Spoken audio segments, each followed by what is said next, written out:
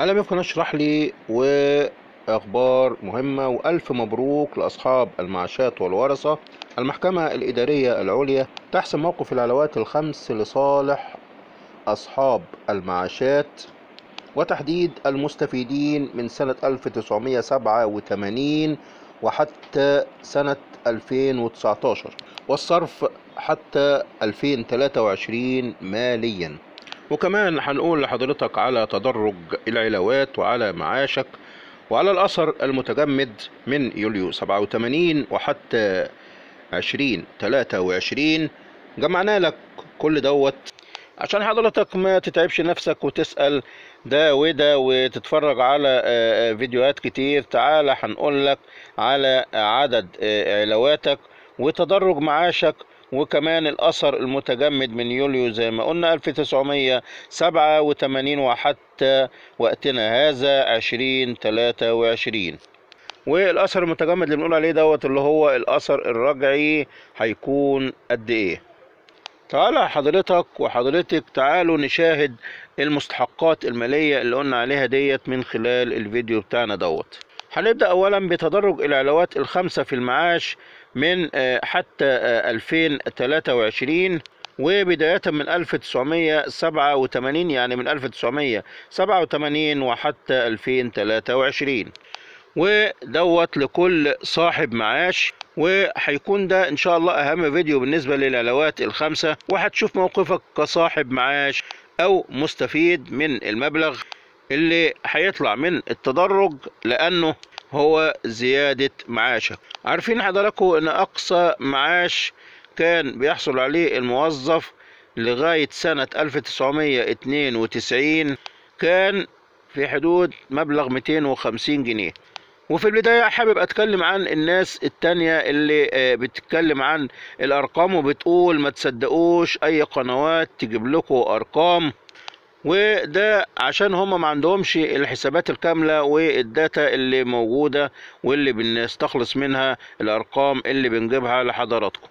إحنا يا جماعة بنتكلم بالأرقام وبالنسبة والقانون وتسلسل العلاوات من أول علاوة كانت بالقانون رقم 101 في سنة 1987 ودي تم إضافتها للأساسي بعد خمس سنوات في 92 هنتكلم عن كل هذه العلاوات بالتدريج حتى آخر علاوة وهي كانت في أول إبريل سنة 2023 ركزوا حضراتكم معايا وعايزكم تبقوا عارفين إن الأرقام دي جت من تدرج المعاش ومن خلال تدرج العلاوات وضمها للأساسي وزيادة آه، المعاش وزيادة الأجر المتغير. وحضرتك ما تستغربش من الأرقام دي لأن هي دي الحقيقة. ولأن حضرتك سواء كنت صرفت قبل كده في 2021 على أربع دفعات أو لم تصرف دي الأرقام الموجودة. دي الأرقام الموجودة واللي هي حسب العلاوات والنسب واللي كانت قد قررتها الحكومة عند الصرف. ومش عايز حد يقول لي إن الح- الحاجات دي كانت لغاية سنة 2019 وأنت بتقول لغاية سنة 2023 طبعا آه، اللي بيسأل كده أو بيقول كده أقول له إن إحنا بنتحدث عن حسابات مالية وليست سنوات استحقاق. سنوات الاستحقاق وحتى 2019 ولكن الحسابات المالية بتبقى لغاية آخر علاوة واللي تم صدورها في واحد أربعة ألفين تلاتة وعشرين ومش عيب إن حضرتك أو حضرتك تسأله. عادي مفيش مشكلة وجبنا إن إحنا نرد عليكم ونوضح لكم الأمور دي عشان ما تقولوش هو أي كلام وخلاص ولا حاجة. إحنا بنحاول نجيب لكم كل ما هو مفيد كل أخبار جديدة كل ما فيه استفادة لحضراتكم علشان إن شاء الله يعم الخير للجميع. تعالى بقى معايا كده وبص معايا على الشاشة وهقول لك إن أول علاوة تم ضمها للأساسي كانت سنة 1987 واتضمت في 92 وكان الأساسي ساعتها 250 جنيه. نيجي بقى للسنة اللي بعدها ال- ال- ال- العلاوة كانت 20% وده كان سنة 93 هناخد في المية ونضربها في تمانين في الميتين وخمسين هيطلع تلتمية جنيه. يعني التلتمية جنيه دول كانوا هما الأساسي في سنة تلاتة وتسعين. نيجي بعد كده العلاوة اللي هتتضم بعد كده كانت علاوة 88 وكانت العلاوة ساعتها 15% والمعاش كان 300 جنيه. النقطة رقم ثلاثة معانا المعاش في 94 كان 345 جنيه واتصرف في السنة دي اللي هي كانت العلاوة 15% فهناخد ال 300 جنيه اللي قبل كده ونضربهم في 115 في المية هيطلع 345 جنيه للناس اللي بتسأل هي 345 جنيه دي جت منين؟ جت نتيجة إن إحنا خدنا 300 بتوع السنة اللي فاتت وضربناهم في ال 115 في المية ليه 115 عشان كانت العلاوة 15 في المية وأصبح الناتج 345 جنيه. ده كده يعتبر الأساسي الجديد. بعد كده نيجي لنقطة رقم أربعة والمعاش كان في خمسة وتسعين كانت العلاوة خمستاشر في المية فبنضرب تلتمية خمسة وأربعين جنيه اللي هم الأساسي في مية وخمستاشر في المية بيدينا الناتج تلتمية ستة وتسعين وعلامة خمسة وأربعين من مية. يعني معنى كده إن اللي طلع معاش في خمسة وتسعين أو توفي وله مستفيد في سنة خمسة وتسعين المفروض إن هو يطلع على تلتمية تلتمية ستة وتسعين علامة تلتمية ستة وتسعين علامة خمسة وأربعين قرش. طبعا هو ما طلعش على كده خالص هو طلع بمبلغ أقل من كده. والمبلغ ده هيتدرج لغاية ما يوصل لسبعة آلاف جنيه. النقطة رقم أربعة في سنة ستة وتسعين كان المعاش ربعمية ستة كان المعاش تلتمية ستة وتسعين جنيه خمسة وأربعين قرش. والعلاوة كانت عشرة في المية ولما نضرب تلتمية ستة وتسعين جنيه وخمسة وأربعين قرش في مية وعشرة في المية. هنلاقي المعاش أصبح ربعمية ستة وتلاتين جنيه وتلاتة وأربعين قرش. هنيجي بقى كده للنقطة رقم ستة واللي طلع في سنة سبعة وتسعين وسنة سبعة وتسعين العلاوة كانت خمستاشر في المية والأساسي في الوقت ده كان ربعمية ستة وتلاتين جنيه فاصل تلاتة وأربعين من مية هنضرب المبلغ دوت في مية وخمستاشر في المية فهيطلع المعاش خمسمية واحد وتلتمية تسعة وتمانين من مية. بعد كده نقطة بعد كده رقم سبعة في سنة تمانية وتسعين.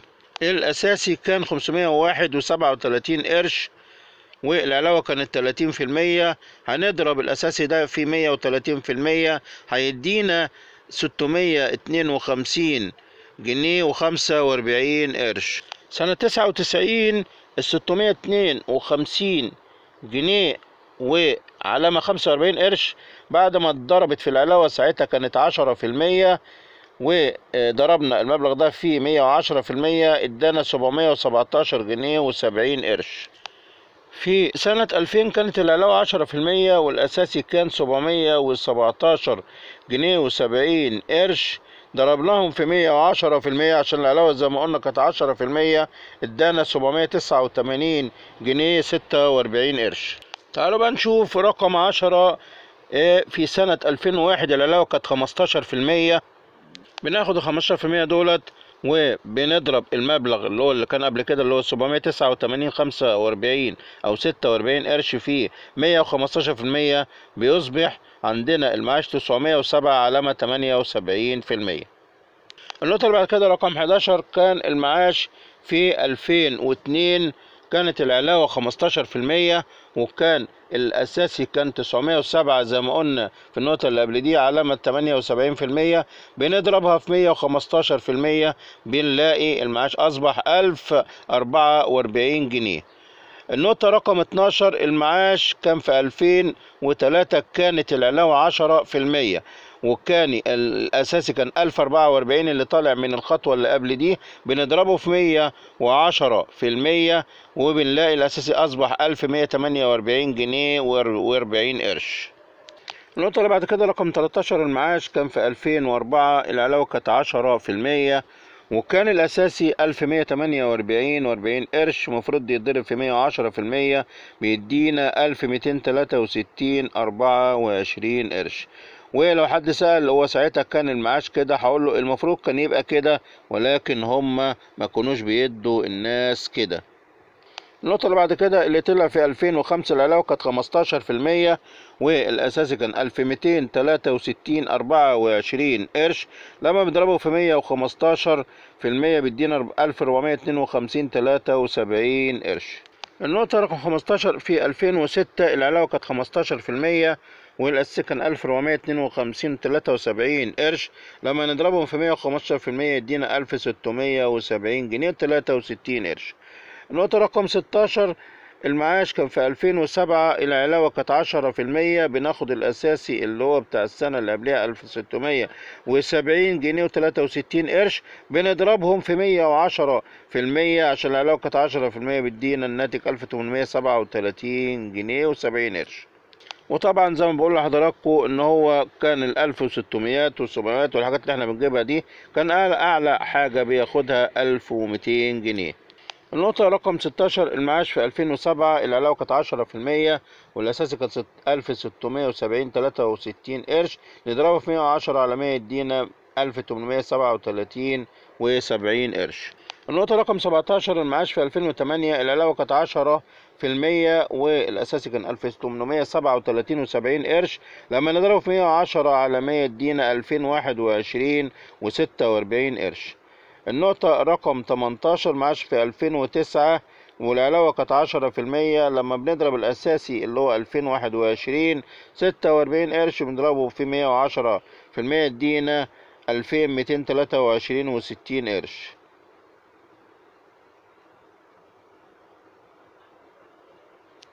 النقطة رقم 21 المعاش في 2012 علاوة كانت 10% والأساسي كان 2812 87 قرش.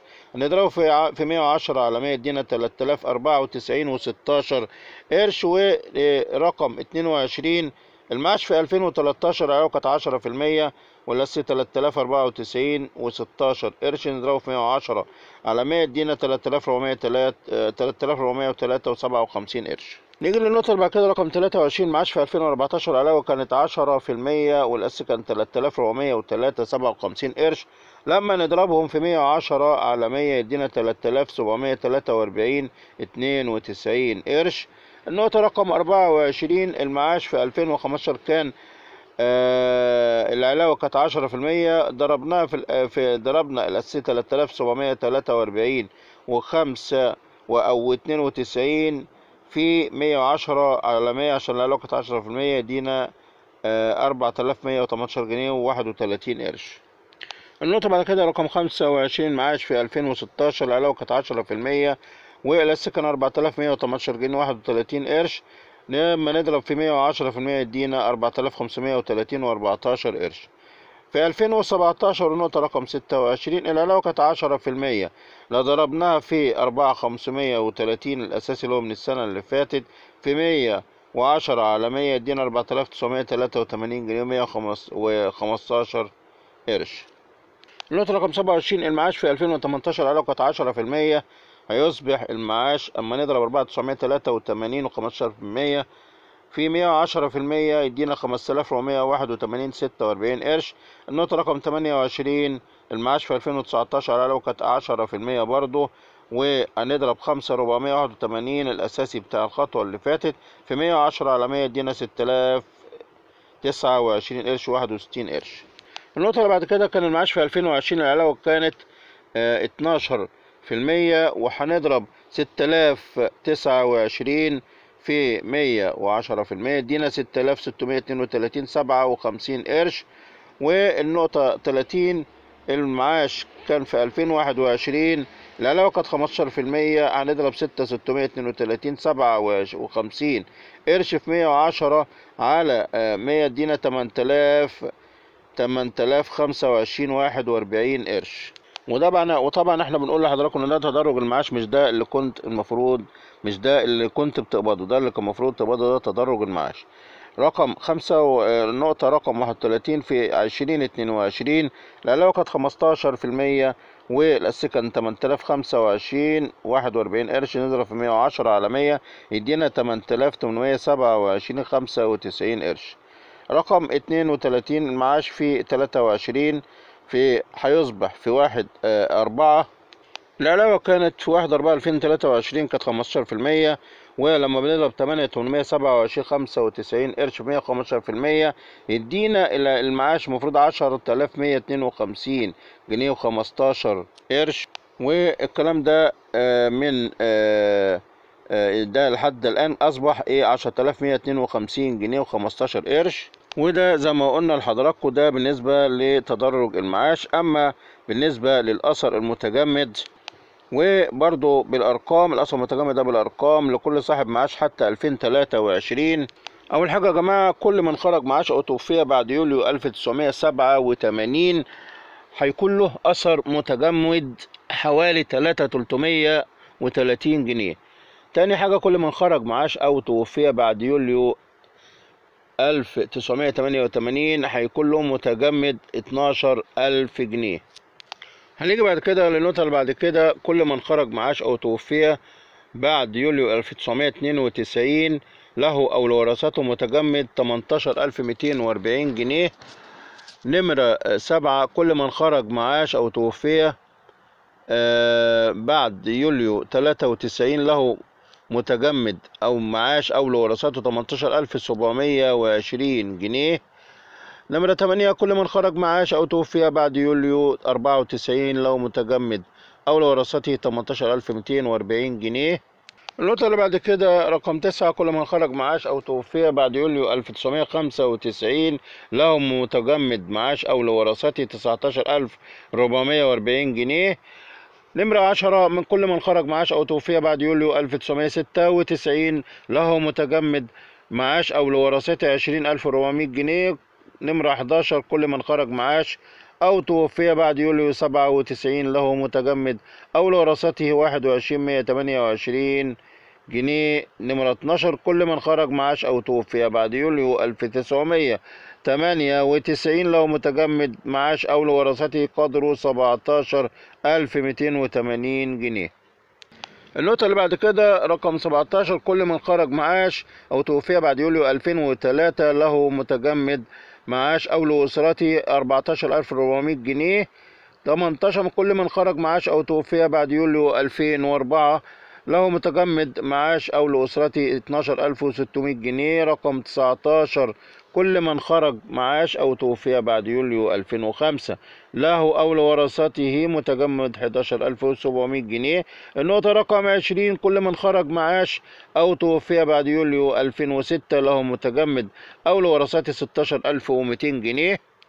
النقطة رقم 21 كل من خرج معاش أو توفي بعد يوليو 2007 له متجمد أو لورثته 21240 جنيه.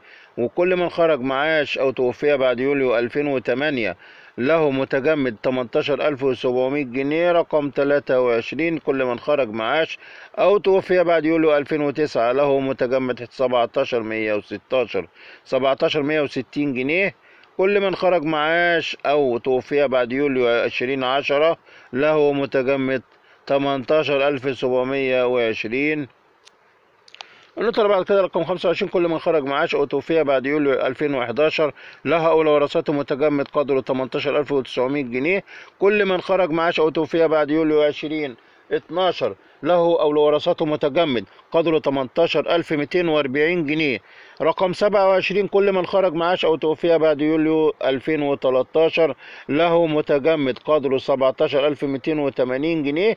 ورقم 28 كل من خرج معاش أو توفي بعد يوليو 2014 له متجمد أو لورثته 11520 جنيه.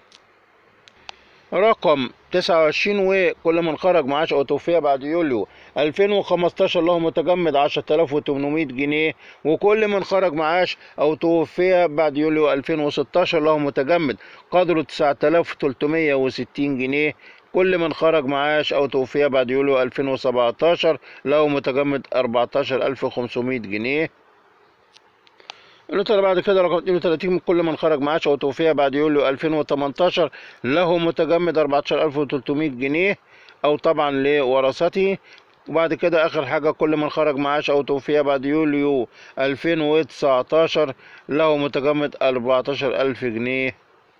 وده كان بالنسبة للأثر المتجمد من يوليو 1987 وحتى 2019 وحتى وقتنا هذا 2023 بنعتذر بنعتذر بشدة عن الإطالة لأن الفيديو ده كان المفروض إن هو يبقى على بعضه كده ما ينفعش يتجزأ عشان الناس كلها تعرف حقوقها. بالنسبة للتدرج وبالنسبة للأثر المتجمد أو الأثر الرجعي بنعتذر مرة أخرى عن الإطالة. اللي لسه ما شاركش في الفيديو يا جماعة يشرفنا وينورنا ويدعمنا ويشترك في قناتنا. دعمونا باللايك والشير. اللايك الكتير والشير يا جماعة. مش هتغرم حاجة حضرتك لما تضغط على like بس بيبقى في ميزان حسناتك ثواب لحضرتك وبيبقى يعني حاجة كده كويسة حضرتك عملتها. من الدعوات اللي بتيجي للناس اللي بتدعي للناس اللي هي بتبقى سبب في إن هو الفيديو يوصل لها وهي مش عارفة يعني توصل له. اللايك والشير كتير يا جماعة بيخلي الفيديو بيوصل للناس بسهولة وبيدعوا لحضرتك.